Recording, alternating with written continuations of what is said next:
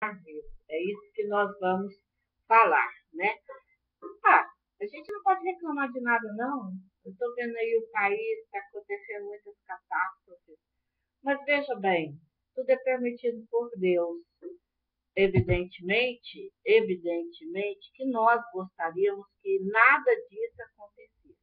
Mas dizem os sábios que existem outras leis que as quais nós desconhecemos, leis divinas, que é um feedback, plantou, colheu.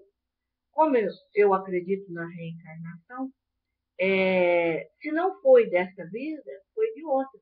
Segundo os estudiosos que acreditam na reencarnação, essas catástrofes que estão acontecendo são pessoas que também, no passado, de uma forma ou de outra, cometeram algumas atrocidades e agora vivenciam as mesmas no, na causa de lei, causa e efeito.